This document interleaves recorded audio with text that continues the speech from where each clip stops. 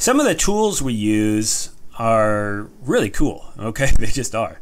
Uh, satellite, meteorological satellite, is awesome. Okay, we can look at anywhere in the world at any point in time and see where the clouds are, um, what the temperature of the cloud tops are, or where the moisture is in the atmosphere.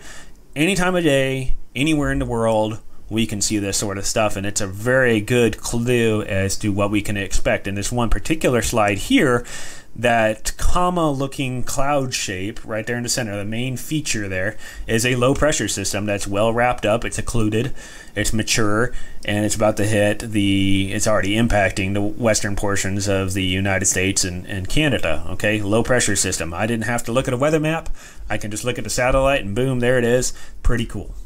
Weather radar, unlike satellite, weather radar actually uses radio waves to basically ping off of hydrometeors or raindrops or snowflakes uh, in the atmosphere and return it to the radar the radar base and uh, sends it to the meteorologist. Anybody who's got a radar, even on your phone, you can pull up a radar. Okay, meteorologists don't look at any different radar products than anybody else could look at. Okay, we might have different programs that maybe show it a little bit differently. Okay, but it's the same radar. We don't have access to special radar that the general public generally wouldn't have access to. Okay, it's the same thing. We just might have different visuals or might have a few more features that um, will allow us to interrogate the storm. We call it interrogate the storms, but you know, take a deeper look into the storms.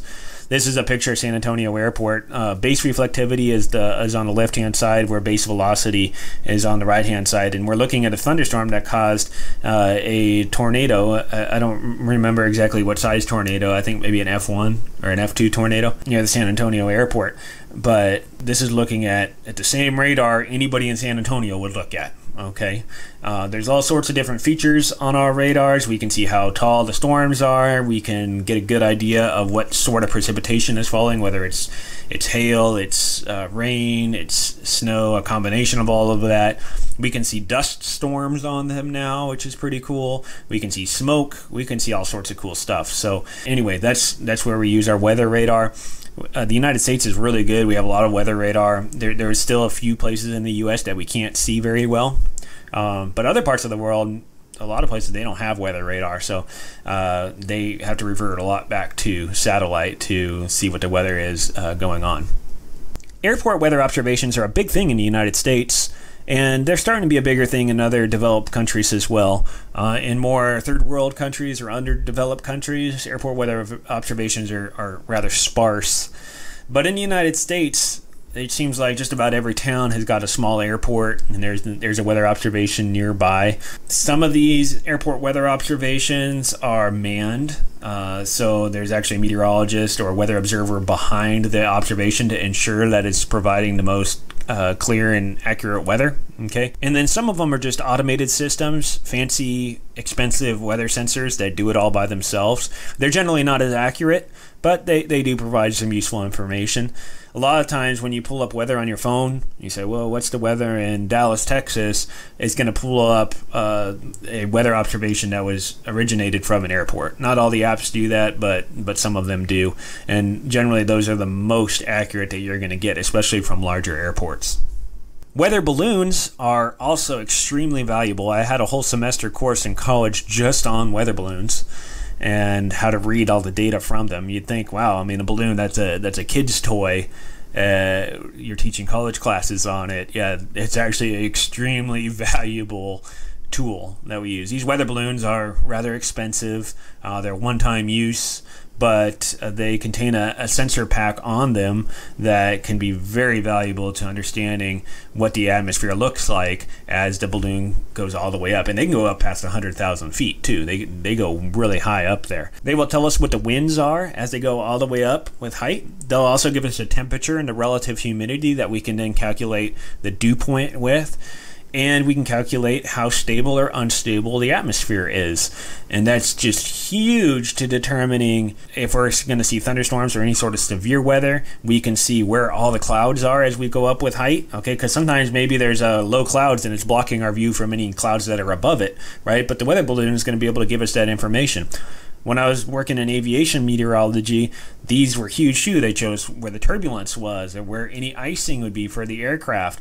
Uh, anything that would impact flight, uh, these weather balloons are extremely valuable. They're sent up twice a day, sometimes more often, but but uh, regular schedule is twice a day.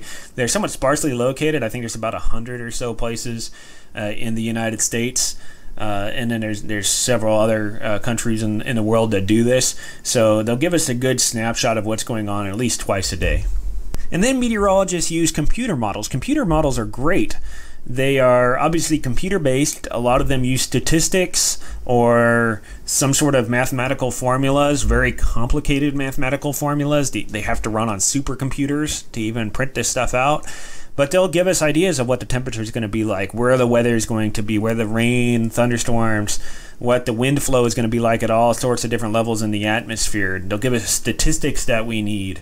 They're basically the the catalyst of all that other information that we just looked at the computer's just trying to figure it out. Now, there's all sorts of different weather forecast models. Sometimes they even contradict each other. it happens all the time. And so meteorologists still have to go in and try to figure out which one they trust more and which one they want to go with. Sometimes we average them together.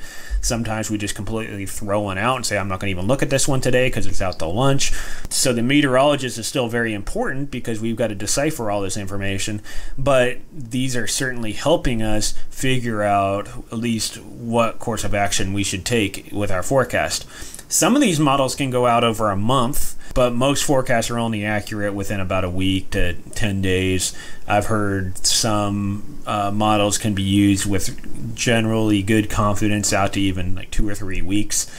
I haven't seen that personally, but I've read some articles about it. I know that that the models that, that I generally look at and use, if they're performing rather nicely, uh, I can see a good five days, maybe even seven days into the future, and make a reasonable forecast based on that. Sometimes more, uh, and sometimes less. It really depends on the location and how active the weather patterns are.